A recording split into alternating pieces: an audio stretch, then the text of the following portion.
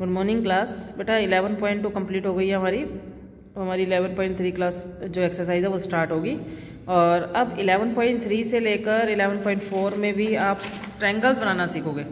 तो मैंने आपको बताया था ट्रैंगल्स बनाने के लिए आपके पास कम से कम तीन मेज़रमेंट होनी चाहिए। कौन सी तीन मेज़रमेंट होनी चाहिए? या तो तीनों साइड्स गिवन हो ट्रैंगल की, या दो साइड्स और इंक्लूडिंग एंगल गिवन हो। दो एंगल और इंक्लूडिंग साइड गिवन हो, या आरएचएस एक राइट एंगल एक हाइपोटेन्यूज और एक अदर साइड्स आपको गिवन हो। तभी आप ट्रैंगल कंस्ट्रक्ट कर सकते हो। तो अभी हम देखते हैं कि ट्रैंगल कैसे कंस्ट्रक्ट करेंगे। और आपने एक बात और भी ध्यान रखनी है इन क्वेश्चन को बनाते टाइम कि आपने जो भी आपको मेजरमेंट्स दी हुई हो, उससे आपने एक रफ ट्रैंगल बनानी है पहले। उसके बाद वो ट्रैंगल फेयर में मतलब फेयरली बनानी है। ठीक है?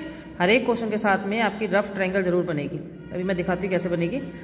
फ़र्स्ट क्वेश्चन है construct an equilateral triangle P के आर पी के आर ट्रैंगल बनानी है, वो इक्विलेटरल है। इक्विलेटरल है मतलब सारी साइड्स इक्वल होंगी with each side five centimetre एक साइड आपको पाँच सेंटीमीटर दी है, इसका मतलब सभी साइड्स आपकी पाँच सेंटीमीटर हो जाएँगी, ठीक है? तो देखते हैं कैसे बनाएँगे। आपने क्या करना बेटा? एक रफ ट्रैंगल मैंने आपको बताया था कि बनानी है। तो पहले आप एक रफ ट्रैंगल बना लो। इसका नाम दे दो पी क्यू आर एक्सरसाइज 11.3 ठीक है, इसका फ़र्स्ट क्वेश्चन चल रहा है। इसकी हर एक side five centimetre five centimetre five centimetre and then five centimetre ठीक है? तो अब आपने क्या करना है? इस क्वेश्चन को करने से पहले मैं आपको समझा रही हूँ पी क्यू आपने बेस लेना है फाइव सेंटीमीटर फिर क्यू पर आपने पाँच सेंटीमीटर की अपनी कंपास खोलकर एक आग लगाओगे यहाँ पर वो आग कहीं पे भी कट सकती है आपकी। सेकेंडली उतनी ही कम पास है, क्योंकि सेम साइड है हमारी, आर पर रखोगे और जो प्रीवियस आर्क है उसको कट कर दोगे। जिस पॉइंट पर कट करेंगे, वो पॉइंट हमारा पी आ जाएगा। पी को क्यू के साथ ज्वाइन कर देंगे और पी को आर के साथ ज्वाइन कर देंगे। ठीक है? देखते हैं। बेटा देखो, पाँच सेंटीमीटर की मैंने एक लाइन बना ली है। ये लाइन सेगमेंट है, क्योंकि आपको उस लाइन से जो है वो गिवन है। तो आप इसको इस तरीके से लिखेंगे। ये मेरे पास नीचे क्या नाम था? क्यू आर तो मैं इसको नाम दे दूँगी यहाँ पर। क्यू और आर इसकी मेज़रमेंट हो जाएगी पाँच सेंटीमीटर यहाँ तक, ठीक है? अब ये देखो, मैंने जितनी, क्योंकि सारी साइड्स इक्वल है, मैंने इसके जितनी आपकी जो कंपास है, वो ओपन कर लिया क्यू आर जितने, ठीक है? क्यू आर जितनी रेडियस लेकर क्यू पे अपनी टिप रखनी है कंपास की, और आपने ऊपर आर्क लगानी है, ठीक है? लगा दिया आपने ऊपर आर्क उसके बाद सेम कंपास का यूज़ करते हुए आर पर टिप रखनी है आप कंपास की और प्रीवियस आर्क को जो आर्क थी हमारी, इसको कट कर देंगे। तो जिस पॉइंट पर ये दोनों आर्क कट करेंगी, वो पॉइंट आपका क्या था? यहाँ पर देखेंगे पी तो आप यहाँ पर लिख देंगे पी पॉइंट पी को क्यू के साथ मीट कर देंगे? यहाँ पर इस तरीके से। और पी को आर के साथ भी मीट कर देंगे। ठीक है? यहाँ पर देखेंगे। मैंने पी को ये थोड़ा सा यहाँ तक मिलेगा, यहाँ पर। ठीक है? पी को क्यू के साथ मिला मीट कर दिया है ज्वाइन कर दिया और पी को आर के साथ। तो इस तरीके से पी के क्यू आर क्या हो गई आपके पास? रिक्वायर्ड ट्रायंगल बन गई।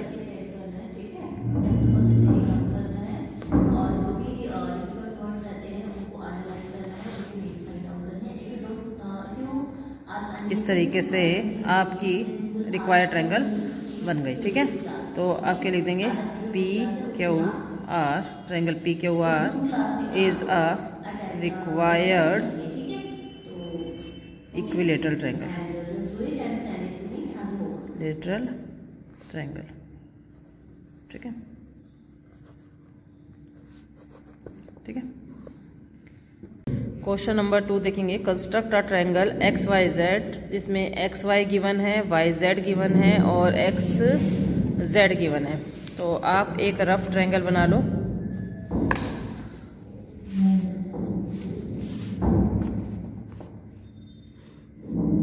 आपने एक्स वाई और जेड आपने एक ट्रायंगल बना ली।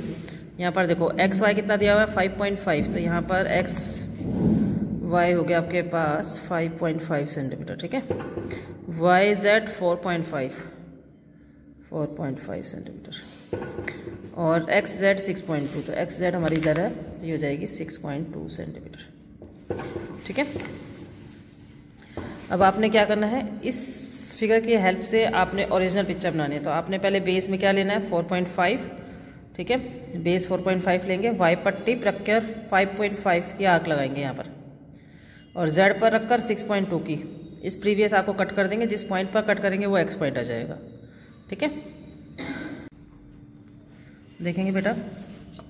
सबसे पहले मुझे लेनी है, नीचे बेस लेना है वाई जेड तो 4.5 सेंटीमीटर का मैंने यहाँ से देखो ज़ीरो से स्टार्ट करेंगे। यहाँ अब तक। ये हमारे पास आ गई वाई जेड 4.5 सेंटीमीटर ठीक है? अब आपने क्या करना है? वाई पर कितनी लेनी है? 5.5 तो आपने कंपास ओपन करनी है 5.5 सेंटीमीटर जितनी। ये देखिए, ठीक है? और वाई पर टिप रखकर आपने आग लगानी है। देन आपने जेड से कितनी लेनी है? 6.2 6.2 ये रहा।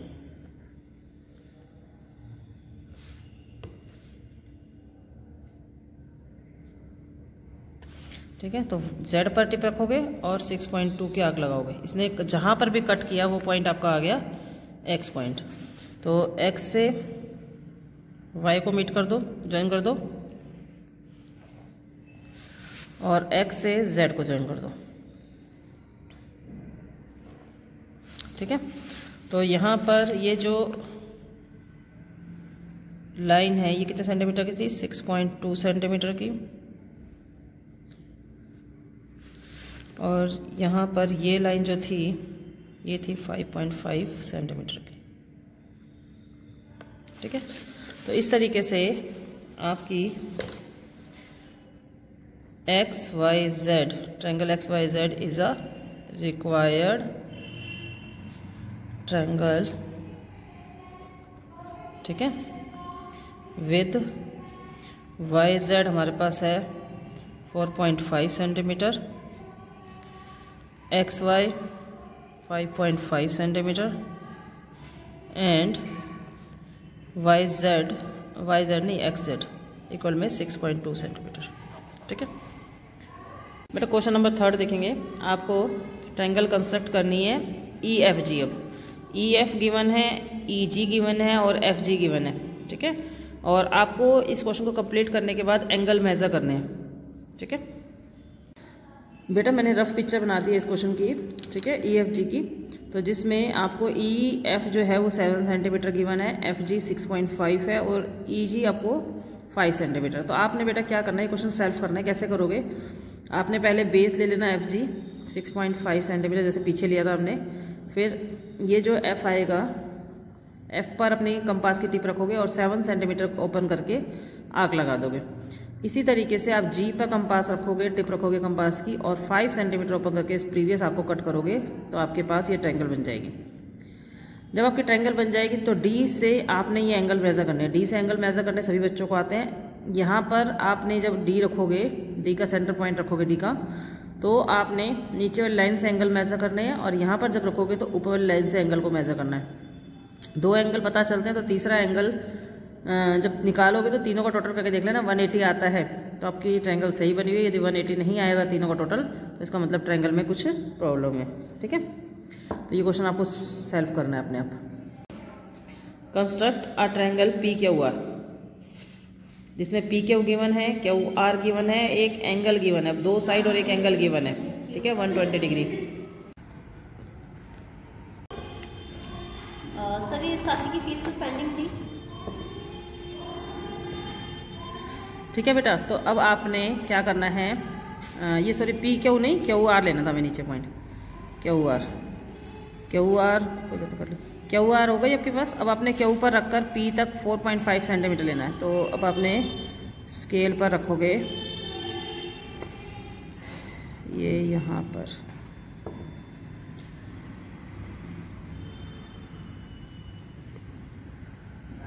ये देखो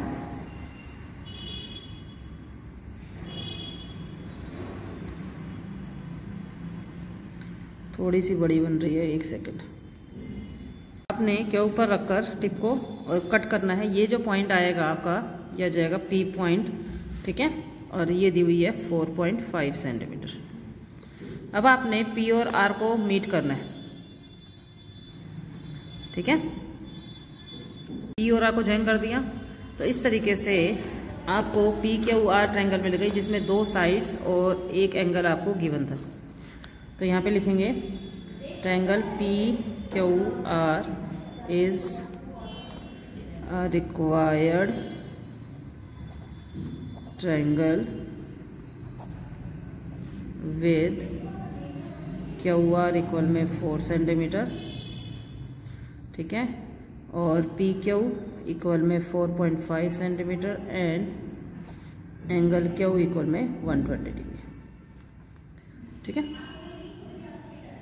बेटा क्वेश्चन नंबर फिफ्थ देखेंगे। Construct a triangle A B C. A B C triangle बनानी है। ए बी गिवन है, ए सी गिवन है और एंगल ए 75 डिग्री गिवन है। ठीक है?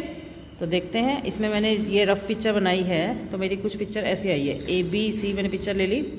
ए बी गिवन थी four centimetre, angle A seventy five और A C five point two. तो बेटा हमारे बेस तो गिवन नहीं है ना? यहाँ पर बी सी गिवन नहीं है तो आप इस पिक्चर को ऐसे बनाओगे। आप पहले ए बी लोगे, ठीक है? ए बी के ऊपर ए एंगल मेजर करोगे ए एंगल बनाने के बाद A C five point two cut करोगे तो उससे आपकी रिक्वायर्ड ट्रायंगल आएगी। तो आपने बेस क्या लेना है? सबसे पहले ए बी लेना है यहाँ पर फोर फोर सेंटीमीटर और एंगल ए पर सेवेंटी फाइव डिग्री का एंगल बनाना है, ठीक है?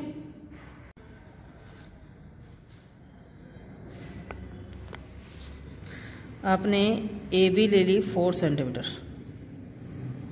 ठीक है? ए बी हो गई फोर सेंटीमीटर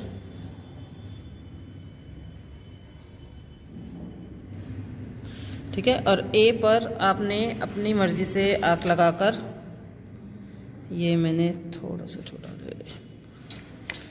सेमी सर्कल सा ड्रॉ आँख से ड्रॉ कर ली मैंने। ठीक है?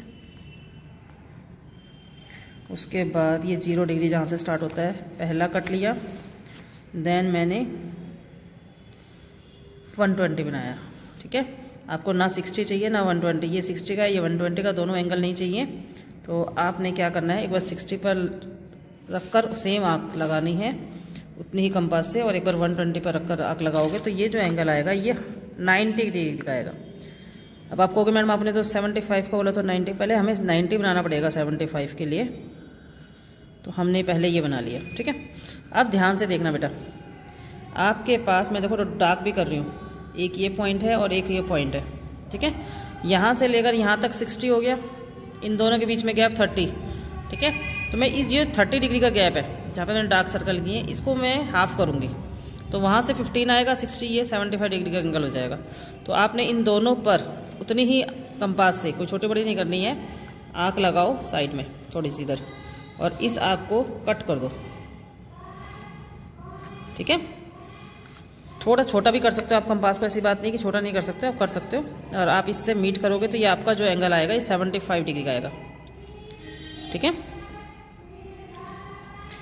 ये ये इस चिप का ध्यान रखना, ये हमेशा ही पॉइंट पर जाकर मीट करने चाहिए। अब उसने क्या कहा था कि ए पॉइंट से जब आप एंगल बनाओगे ए पर तो आपने 5.2 लेना है सी के लिए। सी पॉइंट इसी लाइन पे कहीं आएगा तो 5.2 सेंटीमीटर की हम कंपास को लेते हैं। ठीक है? 5.2 खोल ली ए पर टिक पर रखेंगे और 5.2 सेंटीमीटर कट कर देंगे। 5.2 सेंटीमीटर कट करने से हमारे पास सी पॉइंट आ गया। सी को और बी को मिला दो। ज्वाइन करने से हमारे पास ट्रायंगल आ जाएगी ये बी से क्लियर ये एंगल कितने का था? 75 डिग्री का। और यहाँ पर ये जो लाइन थी, ये थी 5.2 सेंटीमीटर ठीक है? क्लियर तो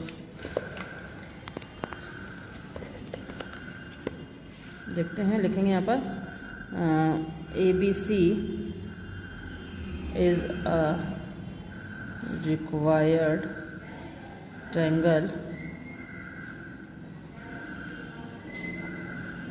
with A B equal में four centimetre angle A equal में सेवेंटी फाइव डिग्री और ए सी इक्वल में फाइव पॉइंट टू सेंटीमीटर ठीक है? क्वेश्चन समझ में आया सभी को? सबसे पहले ए हमने बेस लिया। ए के ऊपर हमने कन्वीनियंट रेडियस लेकर एक आग लगाई। फिर ये जो ज़ीरो डिग्री यहाँ यहाँ पर जो लाइन के ऊपर टच करता है, इसको बोलते हैं ज़ीरो डिग्री इस ज़ीरो डिग्री से हमने पहला कट लगाया देन दूसरा कट लगाया। ठीक है? फिर इन दोनों कटों पर रखकर हमने 90 डिग्री का एंगल बना लिया। ठीक है? फिर 90 और 60 के बीच में उतनी ही कंपास रखकर, एक बार 90 पर, एक बार 60 पर रखकर हमने यहाँ पर कट किया। बीच में तो ये एंगल हमारे पास आ गया 75 डिग्री का, ठीक है? 75 डिग्री के एंगल की वाली जो लाइन थी, ठीक है? इस लाइन पर हमने ए पर टिप रखकर कंपास की और 5.2 कट किया, उससे हमारी ट्रायंगल आ गई, ठीक है? क्लियर गुड मॉर्निंग क्लास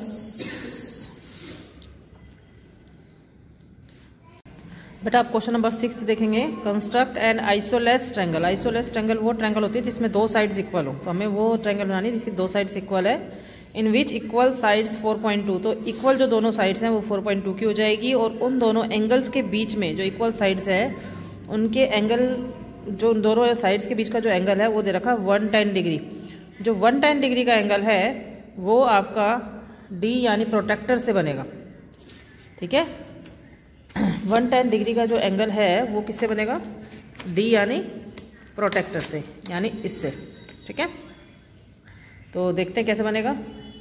ये रफ ट्रायंगल बनाई है मैंने, देख लो, कि इसमें एबीसी नाम नहीं दिया था, मैंने अपने आप ही नाम लिया, क्योंकि ट्रैंगल्स का नाम तो होना चाहिए ना, कोई ना कोई। तो एबीसी नाम ले लिया है।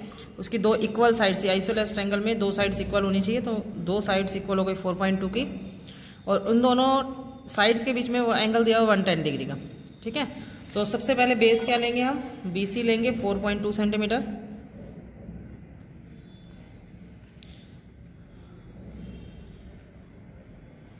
ये देखो बेटा 4.2 दिख रहा है। ज़ीरो से स्टार्ट करके 4.2 सेंटीमीटर ले लें। यहाँ पर नाम आ गया बी सी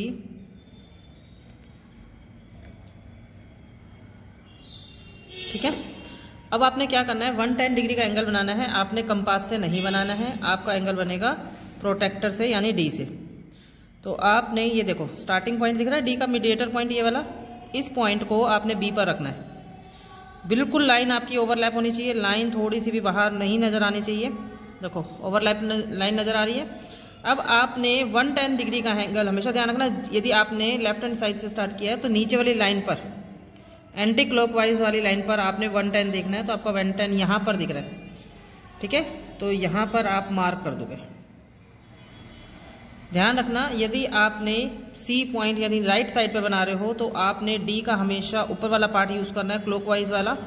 और यानी बी पर बना रहे हो लेफ़्ट हैंड साइड पर बना रहे हो तो आपने नीचे वाला पार्ट यूज़ करना है डी का। तो मैंने नीचे वाला पार्ट यूज़ किया। इस 110 डिग्री के एंगल को बी से मिला देंगे। ज्वाइन कर दिया। अब आपके पास ये जो लाइन आई है, आर रे आई है, इस रे के ऊपर आपने ए पॉइंट फाइंड आउट करना है और वो कितनी दूर है? 4.2 सेंटीमीटर तो आपने स्केल की सहायता से 4.2 सेंटीमीटर की आर्क खोलनी है। 4.2 सेंटीमीटर की। स्केल से डायरेक्ट नहीं करना आपने। आपने कंपास का यूज़ करना है। बी पर रखनी है, आर्क लगानी है, ये आ गया ए पॉइंट आपका। ठीक है? ये पॉइंट भी आपका 4.2 सेंटीमीटर का हो गया। ठीक है? अब आपके पास ए पॉइंट आ गया बी पॉइंट आ गया सी आ गया तो ए और सी को ज्वाइन कर दो। ये आपके पास रिक्वायर्ड आइसोलेस ट्रैंगल आ जाएगी। तो क्या लिखेंगे? Triangle A B C is an isosceles isosceles triangle which has BC equal में 4.2 centimetre AB 4.2 centimetre and angle B equal में वन टेन डिग्री ठीक है? कंप्लीट हो गई बेटा? आपकी एक्सरसाइज कंप्लीट हो गई है 11.3 एक्सरसाइज सभी बच्चों ने काम करके 12 बजे से पहले भेजना है। कोई भी बच्चा काम लेट नहीं भेजेगा। इसमें मैंने एंगल थर्ड आपका नहीं बनाया था। एंगल थर्ड आपको खुद बनाना है, ठीक है?